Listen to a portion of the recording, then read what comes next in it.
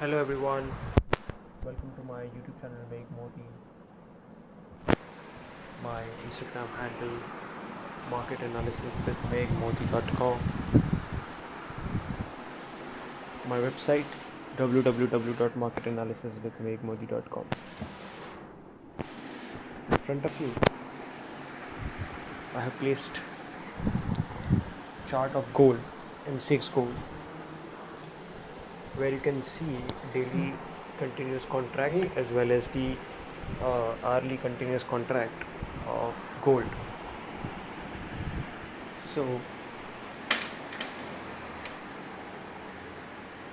today i'm going to give you a snapshot of how an impulse move uh, can be seen or how does it look.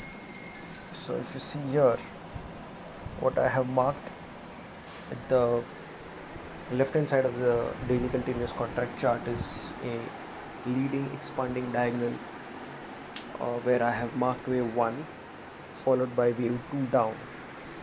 Then as as as it progressed higher I have started marking 1 2 and in third wave th- the third of the third uh, was extended and so in the roman 1 2 3 4 5 this is actually the third wave of wave third.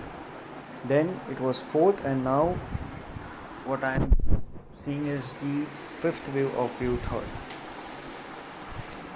This means that still we are into a bigger wave 3 of uh, of this impulse rally then we might see wave 4 coming down and then wave 5 so ultimately the bias for this metal is for this bullion metal is quite positive and the structure looks very much very much positive.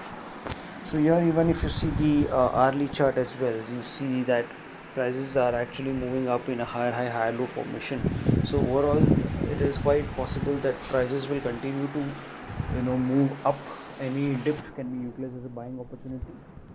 Unless and until the structure is not distorted I hope you liked this video and if you really want to you know get all the notifications of my videos all you have to do is subscribe my channel.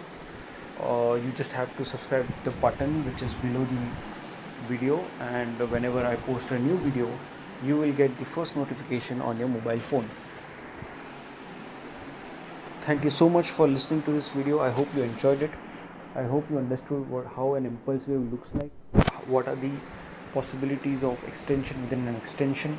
So all such things are quite possible and quite visible when you actually plot a manual wave count. Thank you so very much